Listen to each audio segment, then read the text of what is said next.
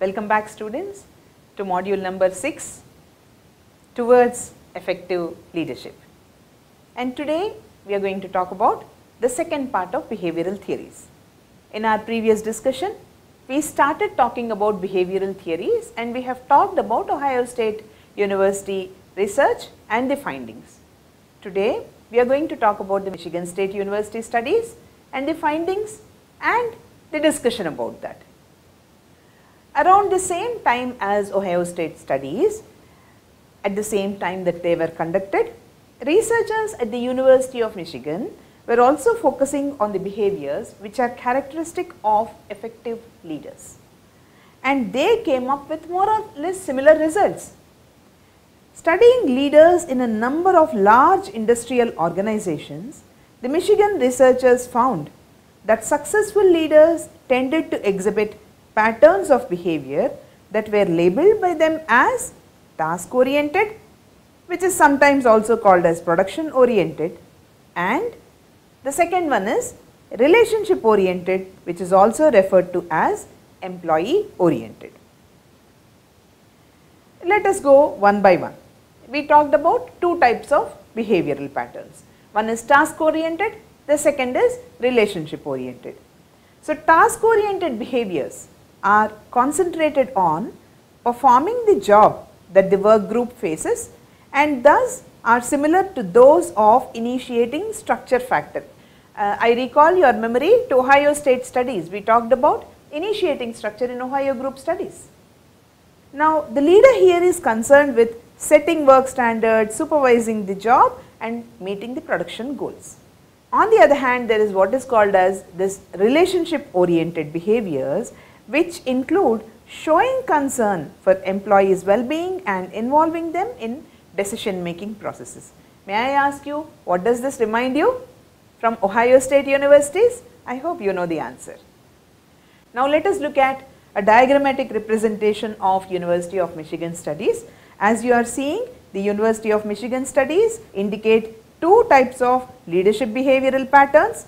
One is employee centered and the other is production centered and leaders under employee centered behavioral patterns they are interested in their subordinates as people, encourage worker participation in the organizational goal setting process and leaders in production centered behavioral pattern emphasized technical aspects of the job, set job standards, close supervision of the subordinates is done over here. So, in 1940s the leadership effectiveness was dependent upon leader behavior and then Michigan studies surface two forms of leader behavior, job centered or production centered and employee centered and an attempt was made to balance task and relationship emphasis over here. Now moving on from here, we will talk about what is called managerial or leadership grid. This was developed by Blake and Mouton. Two dimensions which were similar to Michigan or Ohio State studies are looked at in this. There is a concern for subordinates and there is a concern for production or results. And there is what is called a 9-9 which is the ideal team approach on grid balance of task and relationship. We will be seeing a diagrammatic representation of this shortly. This research influenced the modern contingency approaches that we are going to talk about shortly. So students you are able to see the grid that I have talked about over here. You see that there is a concern for results and there is a concern for people. So, when you are low on concern for people and concern for results, then you are placed over here. If you are high on concern for results, but low on concern for people, then you are placed here. You may be high on concern for people, but low on concern for results, then you are placed here. However, the ideal situation is high concern for people and high concern for results. This is the most ideal kind of situation. Very often people balance somewhere here on the average.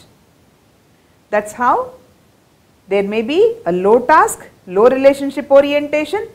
We have seen it here 1 and 1.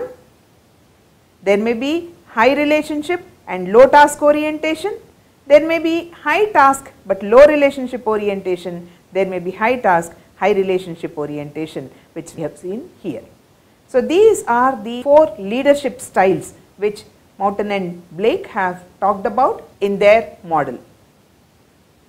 Expanding upon the same, the picture here shows the interpretation. If we look at concern for production over here and concern for people over here, remember the 1 1 that is low concern for people and low concern for production, then there is impoverished management. So, this 1 and 1 or impoverished management, it shows an exertion of minimum effort to get required work done as appropriate to sustain the organizational membership. So, this 1 1 which I have talked to you about in the earlier slides over here the same 1 1 now I am showing it to you in a diagrammatic in a more detailed form it is called impoverished management and then you may be high on concern for production but low on concern for people which brings you to 9 1.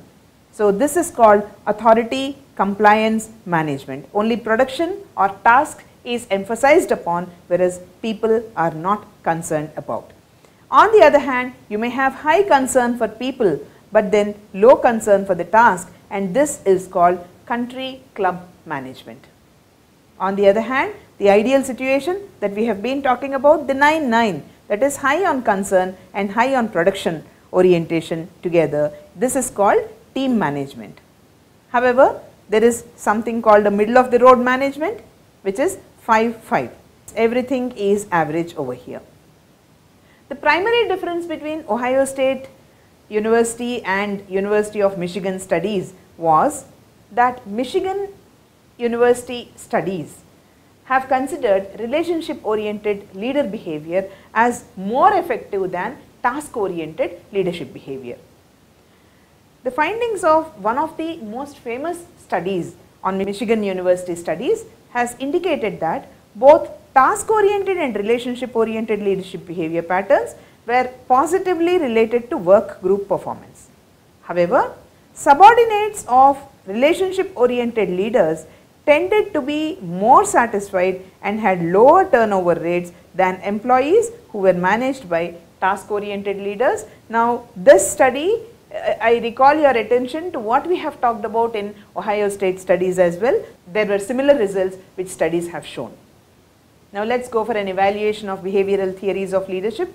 Overall, the initiating structure of Ohio State studies is the task orientation of Michigan State studies and consideration behavior of Ohio State studies has been relationship orientation in Michigan studies. So, these seem to be reliable dimensions describing leader behavior in both the studies. The two dimensions represent very different types of leader behavior yet both have been linked effective leadership. If we believe the universalist contention that there is one set of effective leader characteristic or one best leadership style, then such divergent leader behaviors simply cannot represent a single effective leader. In other words, a task oriented leader might be effective in certain situations under specific circumstances, a relationship oriented leader might be effective in yet another situation. I would recommend that you watch certain videos which are available on net to understand this theory of leadership better. I have given you one link. In addition to that, I would also request you to identify the relevance of the findings of these studies which we have discussed as relevant to Indian settings. That brings us to the conclusion of lecture. We have talked about the second part of behavioral theories and in the next lecture we will be talking about contingency theories. Thank you.